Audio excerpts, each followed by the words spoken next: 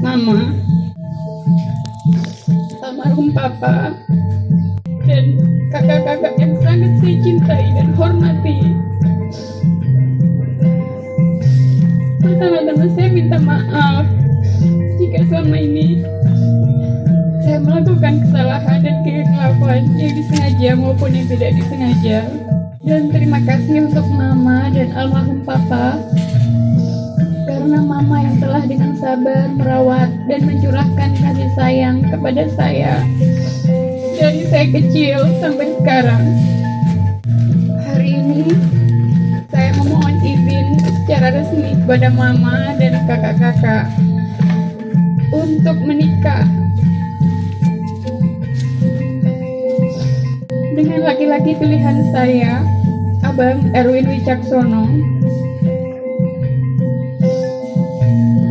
Memohon izin.